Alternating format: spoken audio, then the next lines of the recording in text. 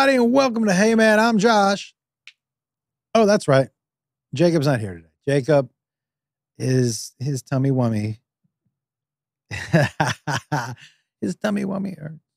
So Jacob is not here. He's home with his sick tummy wummy. But you know who you got? You got Papa Wolf. And I so I thought what I'd do today is get into the emails. Um, as I look at the emails, um, there's a couple from November, so I should probably dive a little deep and get in there. Uh, so we're gonna get to the emails, but first, business. Let's get this out of the way. Thank you, thank you, thank you, thank you, thank you, thank you, thank you. So humbled and and grateful for the incredible support that I have been receiving on this podcast and on the road. I'm gonna tell you something else. Most importantly, I think I figured out the po- I think I figured out like guys as I've gotten older, this old man shit. Purpose has been super important to me, and um, I think I've kind of figured out the purpose a couple years back, I almost stopped stand up because I was like, what am I doing? I don't I don't feel like I'm doing anything, no purpose. The we're we've been getting so many messages in the meet and greets. We get so many conversations about how Jacob and I and our relationship and this podcast and and the way we interact with each other is healing other people's families. Guys, this is this is this is it for me, man. That that is exactly how crazy would it be in my brain if that is something that came out of this. So I'm super humbled and grateful by your stories and by you guys sharing all of um, your emotions with us and by by families coming out because it's not a family show, man. My my stand up is not this is not Mickey Mouse, you know? And but you guys are still coming out together as a family and sharing your stories with us. Super cool, super dope. Thank you guys so much. Um, I, I will tell you also the support on the road been bananas. We're in Huntsville. We're in Atlanta this week. You know, every Friday night is the Mushroom Show. You definitely want to kind of come out and check that out. Huntsville. And then next week, guys, Spokane already sold out. Missoula about to sell out. Seattle about to sell out. So if you want to come to those shows, I would get on that now. Dallas the week after that. And Nashville, guys, this month is going to be crazy. The guests we got lined up down there. I don't want to tip my hand, but this is going to be pretty special. So come down and check that out. And then I think we get Cincinnati at the end of the month. Besides that, guys, uh, we're going to get into some emails today. But before I do that, I want you to know so I um I've started working uh here in Nevada with the NPHY, which is the Nevada Partnership for Homeless Youth. And um so we went and donated some stuff today. Uh, and if you're in Nevada or anywhere in this country, there is a, a homelessness problem with youth, with kids, you know, up to like 24, 25, especially. And so if you have some time to spare or you got a little extra dough, what a great place to spend it. But I'll tell you this, man, I'm going to tell you why it's near and dear to my heart. When I was raising the kids and single, I was on WIC. And WIC is a program that states set up for parents who can't afford to pay for things like milk or formula or shit like that. And as I was buying this stuff today, uh, like baby supplies and shit like that, it reminded me of that time in my life and how humiliating. First of all, they didn't make it easy, man. They would, when you brought your WIC stuff up, they would, they would shut down the, they would tell people in line behind you, we gotta, this is gonna take a while. So it was fucking humiliating to, to the way they set it up. And I remember being going shopping at like midnight. So I didn't put myself through that. Not only that, and I know people meant well, but how humiliating. And I know people meant well because I would do the same thing now, but I can tell you from that situation, when people would sit behind me because it was taking a long time and they would go, let me just pay for it. It was crushing. So I, I, I this is something that's important to me, and um, and um, I I encourage all of you to, if you're in a situation, to give back, whether it's with your time or your money. But big shout out to NPHY here in Nevada. Um, and uh, we will be getting involved. I'm going to get some of the kids on stage. Maybe we're going to teach a comedy class over there, and we'll do a graduation down at Kimmel's Comedy Club where I do my show every Monday night. Um, but yeah, man, uh, as I've gotten older, giving has become um, a much more um, important part of my life. So very um, honored and grateful to be able to be there. Now, look, we're going to get into the emails. And if you're watching, you're to see me take off my cool Easy Rider glasses and put on my fucking, oh, I hate these falling down glasses. These glasses, I've said this before, I don't mind wearing glasses. If I was wearing glasses and they helped me see, that's fine. It's the fact that I have to pick these up and put them on to see makes me feel older. If I was just wearing glasses, not these glasses, but if I was just wearing glasses, I wouldn't feel old. I'd feel, hey, I'm a cool guy with glasses. But when I'm like, oh, what is that? Let me get my glasses. Yo. And then somebody suggested when I went in to buy glasses, because I buy them at CVS, somebody suggested with my readers, they said, you should get one of those things so you can hang them around your neck. Hey guys, I already wear cardigans. If I have reading glasses that hang down around my neck, you might as well stick a fucking pipe in my mouth and get me reading Catcher in the Rye. That shit is not happening. Okay. I what I want to do is I want to get contact lenses that I can that I can that are also readers, but are also like weird, like like uh like they should what was that word movie with Arnold Schwarzenegger, Last Action Hero, where the bad guy, his eye had different eyeballs. I wouldn't mind putting in different eyeballs. That'd be cool. All right, everybody, let's get into your emails. I haven't looked at these yet. Um, and so let's just start uh at the furthest ones away. This was sent on November 28th. Um, and so this should be here we go. I'm just gonna read them so I don't know if they say anything terrible, but here we go. This is from Cameron. Cameron says, I'm an Okie in Norway. I tried to make your show when you came to Oslo, but I'm living in Stavanger and work wouldn't couldn't make the trip. On a previous podcast episode, you were talking about Oslo and how people in Europe are more worldly. You said that it's not the case in the US, and I agree coming from a small town, Oklahoma. Politics aside, how can we make this change in the US? Uh, I feel Americans think about world topics it's so political. Uh, okay. Yeah, you know what? Here's the deal. I, I think that, and I'm American, man, and I'm guilty of this. But ask me the history of Norway. Ask me. I don't even know if they have that president or a prime minister, or if they just got a sculpture of like an ice god. I don't even know. Do you know what I mean? I don't fucking know. And there's look, and I love, you guys, I love America great. I would even go on record and say it's the greatest country in the world, but it's got some fucking problems.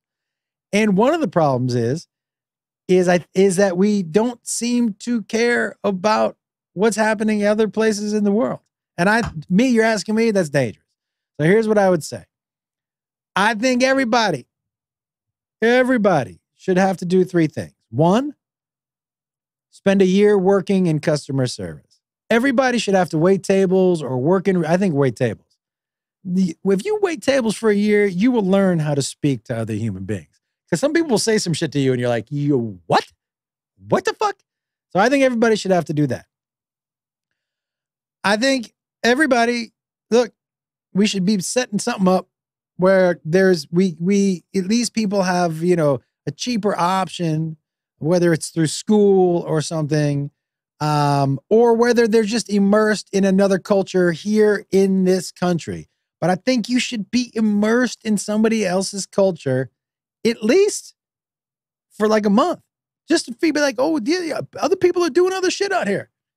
Do you know? Like, yo, I, I, I so I, I think that's the only way to do it, man. And also, if you start like start playing football in other countries, and I think maybe you might get more Americans, not football, Americans clearly they have shown over and over again that football is not something they're interested in. However, football is. So that listen, this is I'm just spitballing, guys. I'm just reading these for the first time. Um, but that's what I would say.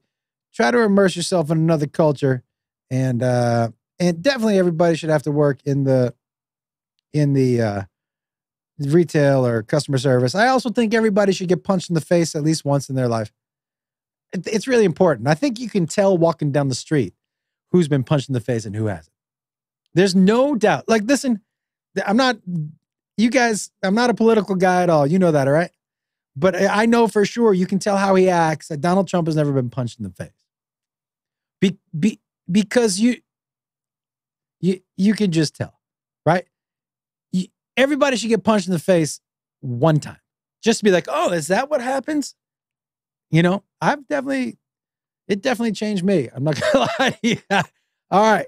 So punch in the face, uh, uh, work in the restaurant, immerse yourself in another culture.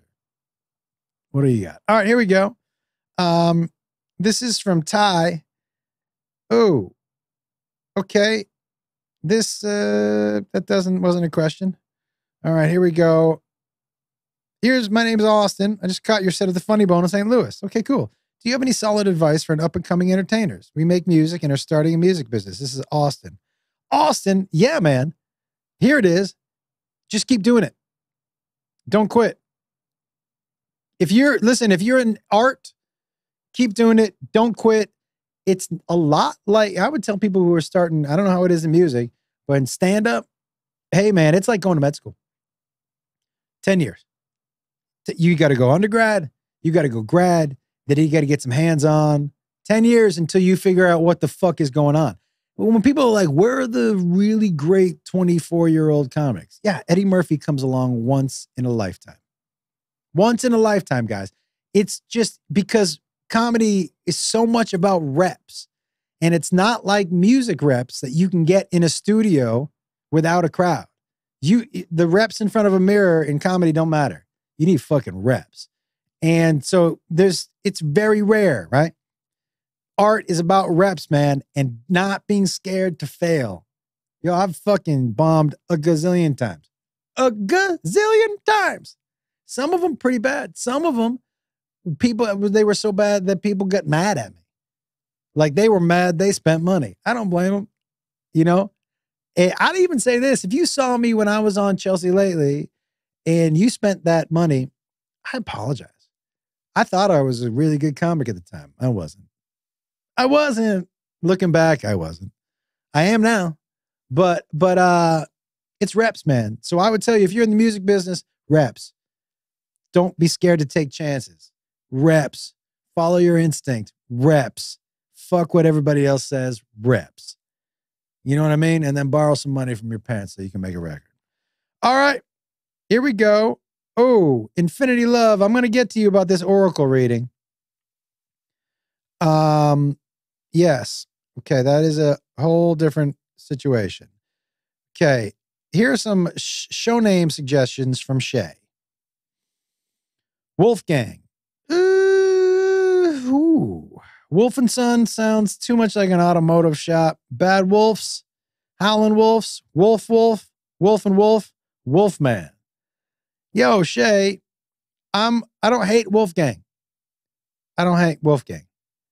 Uh, I think we we landed on Generation Wolf, but I don't hate Wolf Wolfgang. All right, here we go. Ooh, Brandon, you have got a long email here. Okay. All right, I'm gonna skip through that. Uh, I hope you can make the Dallas shows in March too, my friend. Uh, you don't have a question, responses. Okay. I know you have people. Okay. I'm also not sure. The, oh, you would like to you feel like a lot of the fans would be open to discussing their parenting styles as well. Yep. Okay. There's no questions there, but thank you. Um, podcast, podcast, podcast name. Wanted to say thank you. Um, okay. I'm sobbing at my desk listening to you two talk about your time on home improvement and all the people who helped you along the way. I can't thank you enough for being open and honest about how much you struggled financially in those early days. My husband and I have three kids, and while we make decent money, it's just expensive these days. Hearing your story gives us so much hope and reminds us of how far we have come. Hey, listen, I'm going to tell you something right now. Thank you, Amanda. I'm going to tell you something right now. And Shandy, Let me tell you something right now. Here's another thing. When I hear people say, I don't have enough money to have a kid, that's not how that works.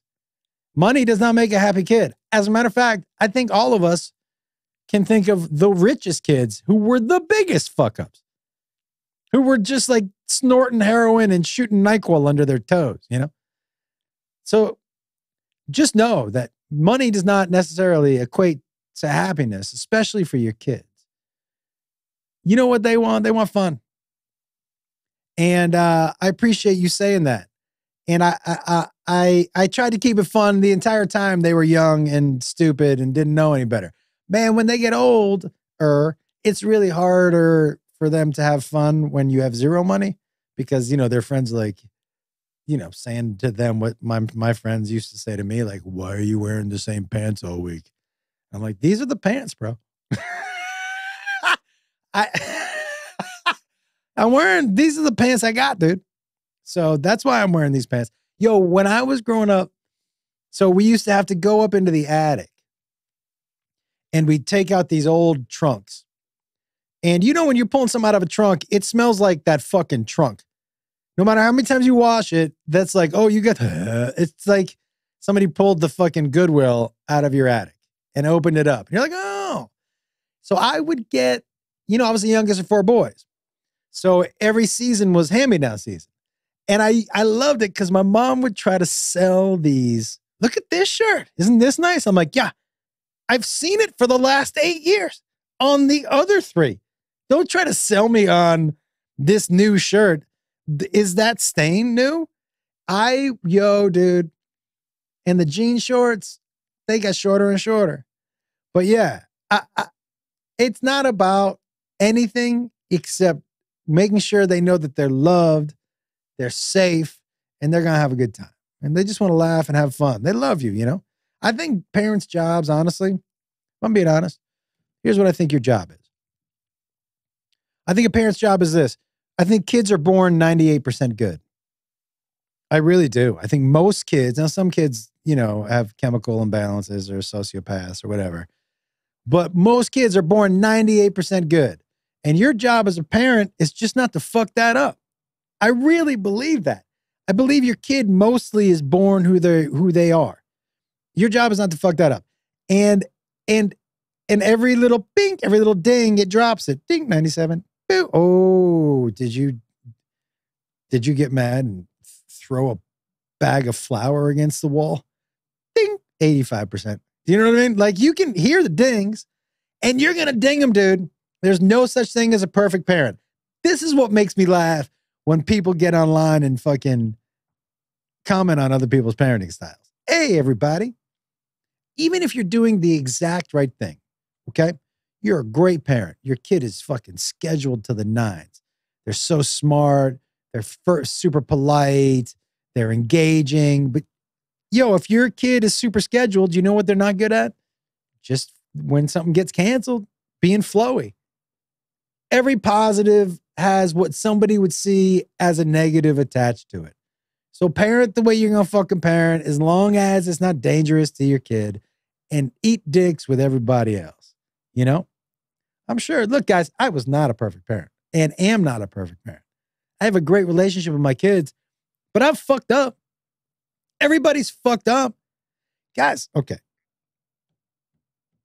I I I I, a long time ago, I was doing a one man. I was living in one room with the kids, and I was setting up this. This is when one man shows were kind of big in Hollywood. And by the way, this doesn't have anything to do with your email, Amanda, but just showing how everybody fucks up. Okay. And um, so the one man shows were something that in Hollywood used to be a big deal, but you would go in basically as you and you're in the theater and you tell a story. And I was telling a story about being a single dad. And um, you know what fucking crazy that happened? I, I ended up getting a pretty big TV deal out of this. But I was writing it like one in the morning, crying in front of my computer. I was just using it as catharsis. I couldn't afford a, a fucking therapist. And I was suddenly single with these three kids in this tiny little apartment, you know? And um, on the way to, you know, I only did it one time.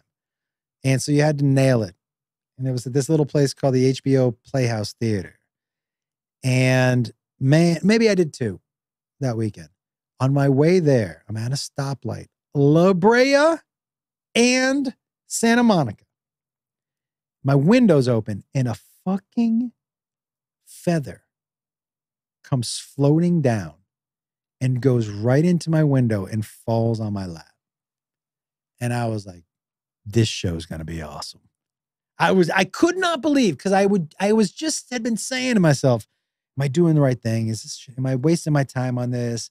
Should I have spent my time doing something else? Should I should I have concentrated on stand up?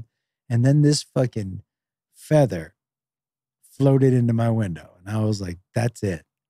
Let's go. Point being, I will tell you guys, not my proudest moment as a parent. This this is my absolute most regrettable moment as a parent.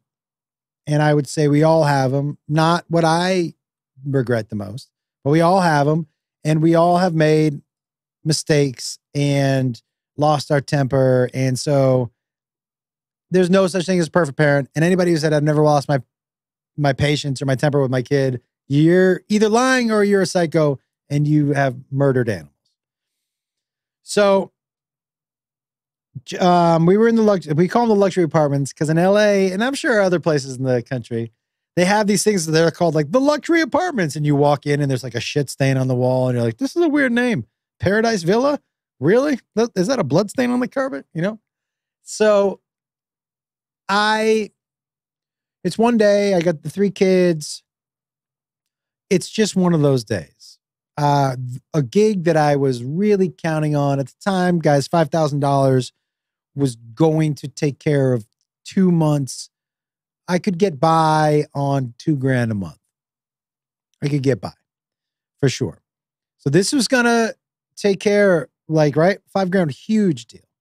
It got canceled. Um, I there were some other things that were happening. I, my oldest son was having trouble in school. He was fighting a lot. Um, and um, you know, my ex was still not living with us, but she was kind of in and out a little bit. And um it it was pandemonium at the house. It was just one of those days the kids were like like like uh in Wild Thornberrys, um Flea's character just running around like fucking crazy. And Caitlin, my daughter, kept picking up Jacob, and she was at the time probably three or maybe four and he was like a year, year and a half. And I was like, Kate, stop picking up your brother. You're going to drop him. And um, stop picking up your brother. You're going to drop him. Stop picking up your brother. Phone ringing, bills, no food in the fridge, feeling like a complete and utter loser and failure. That's the only way I can put it.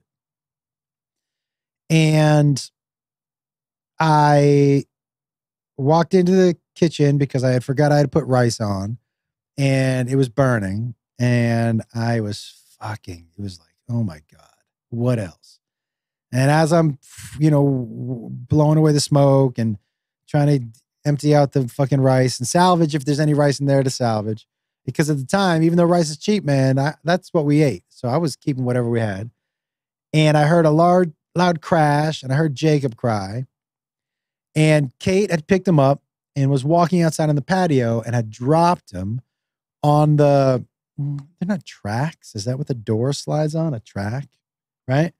And he he had hit his face in his ear, side of his head on these tracks. And he had these crazy deep grooves. And I I hmm yeah, I just whacked her right in the back of the head. I, am not a hitter. I'm not a, that's not my thing. I don't think ruling by fear is a good way to do it.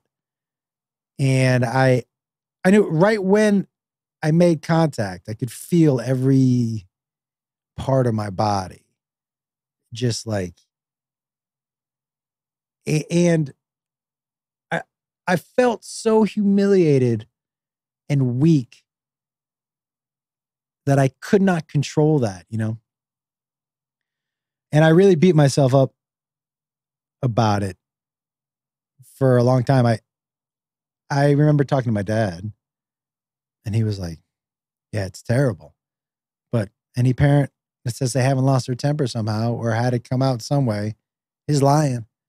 But it's good that you didn't feel that you felt terrible about it and you know you're never going to do it again. But this doesn't make you a bad parent or a bad guy. And I, I, I, I apologize to Kate about a zillion times, and she and I have an amazing relationship now. And I'm so lucky that she found it in her heart to forgive me and and um and be okay with it. We're not okay with it. I don't know what the words are, but like you're gonna fuck up as a parent. You're gonna make mistakes. You're gonna do things that you regret. And that's life. And you you just have to be better the next time. And I'm not saying I didn't lose my temper ever again. Of fucking course I did. But I can I handled it better, more maturely. And this is what I'm saying, you know. Um it's all ups and downs. It's all this life. But if you stay here and you don't get to here or to here, this is the way to do it with parenting, especially in my estimation. But um yeah, man. Uh Amanda, I don't even know what the question was or how we went down this path, but thank you so much uh, for reaching out, and I hope we see you back again in um, in Kansas City. What what? Why did I start talking about that, Matt? I don't remember. I don't remember. Okay. Um, yeah, this is from Rohit. You, uh, I love how you can tell stories that I can't relate to them. Feel super conversational and relatable. That's cool. Um, okay. This is Oh, thank you so much, man. I've been going through some shit in my life and listening to the two of you telling stories and just having a good time in the pod has been super uplifting. Guys, this is these are the emails and the responses that that that fill me up, man. This is the purpose. Is if I can't believe it that because I'm going to tell you something right now. When I feel best is when I'm giving or when I'm helping. And to think that my silly dick jokes help in any way, shape, or form is so fucking uh it's is so uh, humbling and, and remarkable. So thank you all so much. Thank you, Rohit. I appreciate it. Let me see if I can get some more questions. Um, that's not a question. Um, okay. This is what is going. What is this? I I don't know who this is from. Uh, I can be ready. This is a little bananas. Um, okay, I'm not going to read this person's name and I'm not going to tell you what they're saying. That was that was interesting. I just don't want to this with the amount of emails and the things that were being said that seems like per somebody who could show up at my house. So I'm gonna go ahead and uh, uh okay. Zach wants to ask, this is for Jacob. Why did you stay with your dad instead of going with your biological mom? Were you too young or what? Um, Zach. Listen, it was just something that he didn't have any it was not up to him to decide. We split up when he was like a year and a half or two. And so it was just a decision that the biological mom and I made. That's all. And um, but he, you know, he went up and visited for a while. So you girl watched the podcast. Thank you guys. Thanks, Zach. Yeah, but it was just it wasn't something that I wasn't leaving the decision up to him. Here's some questions. Ray Moody. Why don't you get high together? We do. I would also like to know if you would do mushrooms with me before I have my neurosurgery. Well, why? I don't think. Oh, you live in Henderson? Oh, Rachel Moody. Listen, I, I don't I don't know if you should be doing mushrooms before a neurosurgery. I I I think it scrambles your brain anyways. I know what neurosurgery means. It feels like it's an operation on the brain, but I think I'm going to need some more specific. Are they taking a piece out? Are they adding some in? What does that mean, neurosurgery? And mushrooms, I think, are great, but I think maybe you might want to ask a doctor if scrambling your brain before neurosurgery is really the way to go. I listen, I'm up for whatever, but I probably won't do mushrooms with a stranger. That doesn't sound like fun. That that's how you can tell that you've never done mushrooms before. You don't mushrooms aren't like, hey, that's I'm gonna just take all these mushrooms and hang out with a stranger. That would be uncomfortable. Um, although I do hang out with a bunch of strangers on mushrooms, but it's not one on one, right? It's just me and a, and a group. But good luck. Let me know how it goes. Uh, let me know if I can get a piece of your brain for good luck. Do they give those away like rabbit's feet? Just a little chip. I've never seen a, like a little chip of a brain. Part of the frontal, the hippopotamus. What's it called? Not the hippopotamus. The hypothalamus. Wait a minute. I'm closer with hippo, hippopalamus. Hypothalamus. Okay. Hippocladamus. Hypothalamus, I think is right. Not phala. Hippopotamus. Did I say hippopotamus? Hippolotamus? Um, Matt, do you know what it is? Hippothalacris? Hypo. I, uh, I think it's hypothalamus. That's what I'm going to go with. Your hypothalamus right up front. No? Okay, hold on. Let me see if I can get it. It's got to be like the frontal lobe of your brain is frontal lobe. Hypothalamus. I was right. Fuck yeah. Yeah, the hypothalamus, everybody. Thank you very much, Dr. Wolf. You you're welcome. Okay. Last, not least. Hi, my name is James. I'm a huge fan of the podcast and y'all's comedy. I came to see in Ohio. My question is Has anyone ever told you an insanely crazy story that inspired you for a story you tell on stage? I don't use other people's stories. People send me the craziest stories, guys. I love reading them. I would tell you, I read eight out of 10. I read a lot. You send them on Facebook. Some people send these fucking diatribes. And, you know, if I get a joint in my hand, I'll read them. Um, and so people send me some crazy fucking stories that would make people on Reddit go, What the fuck just happened? But I don't use other people's stories. Um, be- I have to at least kind of be there, I think. For me to really be interested enough to tell the story. I'm not going to just tell a story about a random person that I don't know. That's the story for you to tell, you know? But no, I don't I don't I don't do that, but it sounds like you have a crazy story. So feel free to send it to me. Guys, that was uh, there were so many emails, but 12 of them were from that one person who was insane. So and they were not questions. They seemed to be very um, Russell Crowe, beautiful mind type stuff. Yo, that's like the man. Have I told the story about the, the my stalker on this podcast? So I have a stalker. Her name is Sandy Wang, and um, I know, I know, it sounds like a porn star. Sandy Wang has emailed me a picture of the house across the street from my house before. Okay. So this is okay. This is, by the way, I have a stalker and it's my own fault. I, because I can't walk away from weird. I'm super like, what?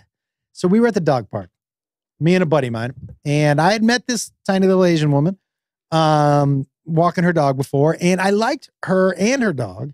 I liked mostly her dog because it was the only dog at the dog park that did not hump my dog. My dog Rocky would get humped mercilessly and just sit there like, "Are you gonna let this happen?" I'm like, "Dude, what? Walk away?" But he he was not. He got humped by everybody, and so her dog was the only dog that didn't hump. And it was just like I, pulling dogs off of my dog was just like it was just like I can't come back. Well, one day I'm walking with my friend, and there was a pretty big dog park up on Mulholland in California, in Los Angeles. And uh, we're walking around the fence, which is what we used to do. And she was like, Can I walk with you? And I said, Yeah. And so it was me, and my friend, and, and Sandy Wang. And we walk one lap, and Sandy Wang looks at me. And I, like I said, I'd talked to her at the park a bunch before then.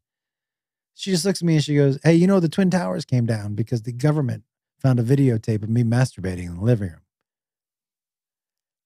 And my friend just looked at me and he didn't even look at her. And he looks at me and he goes, I'm out. And I was like, You're out. I mean, I want to see the video. How about like what? What do you mean they found it? Where were they in your apartment? I could not get enough of this story. So I'm hooked into the weird. Now, before then, she was like, I'm an artist. And I was like, cool. And she was, she was like, Will you look at some of my art at least and let me know if you're interested? Can I send you my website for my art? And I said, absolutely. And sh- so she sent me the website, and I, nothing on there, it was decent art. Nothing on there was for me. So I emailed her from the website. A, not for me, but I'll pass this along to some of my friends. So she had my email. She has my email. Guys, I I have in my email. Ooh, ooh, ooh, ooh, ooh, How many emails unread? So unread Sandy Wang emails 3,000. That means the ones I haven't opened. I haven't read all of them, but I would open them. So she started, okay, I don't even know where to start. So she started to get it started to get a little weird. And um, she started emailing me. And this weird, she emails, I think I mentioned like Russell Crowe, Beautiful Mind. She emails in words, but they're riddles and they're spaced out. And there there would be some other emails attached. It turns out, okay, there's so much of the story. So she sends me one email that has the picture of the house across the street from my house. And I was like, okay, this is weird. But by the way, the emails are fucking, they said the N word. Uh, some emails are just the N word, like a hundred times in all caps. It's just bizarre. And some of them are like riddles. I'm not going to read them to you. And by the way, Sandy, if you're listening, I love you. I'm not. I'm not, this is not despair. I'm just telling everybody what the deal is. So she, I, when she sent me the picture of the house across the street from my house, I called a friend of mine who's in the Secret Service. And I said, Hey, dude, this is a deal. And he was like, Send me five emails right now. He was like, I go, Just five? He goes, I just need to see five random ones. And now he was a guy who read letters that were sent to Obama. So he was like, I can pretty, I can tell right away. And so I sent him and he got back to me so quick. He goes, not dangerous. She's not dangerous. I said, how can you be tell? He said, first of all, what he, this is crazy, guys. He goes, one of the first things we look for is if they reference God a lot. Because when they reference God, that means they're letting you know that your authority doesn't mean anything on this to them. And if you're referencing God a lot and God and God, somebody's going to knock on your door because it feels like you're telling me, I'm not listening to you, I'm listening to somebody else. And I was like, okay. And he said, plus, this is like real schizophrenia. Like this, if you look at the patterns of her emails, they only make sense to her. In a, like I said, in a very Russell Crowe, beautiful mind, it made sense to him, puzzle kind of way. So I'm like, okay, nothing to be worried about. He goes, nah, dude. And I go, should I block her email? And he said, no. And I said, why not? He said, she clearly wants to get in touch with you. And if you block her email, she's going to find another way to get in touch with you. And I was like, does that mean coming to the house? He said, could be. And I said, all right, we'll keep the email open. So I get these emails all the time. And you can tell when she's off her meds. I'll get like 30 emails in a day. So I'm, I feel like I'm pretty much done. And I get this phone call on my home phone one day we still have a home phone. Um, and this was years ago. And I go, hello. And I hear Josh Wolf. I'm like, yeah. And I, uh, the guy on the other end goes, hey, this is, and I forget what he said his name was. I'm part of Tom Cruise's security. Can I talk to you for a second? And I said to him on the phone, fuck you, Dan. Because I thought it was my brother playing a trick on me. Fuck you, Dan. I don't have time for this today. Let's try the Tom Cruise security bit some other day.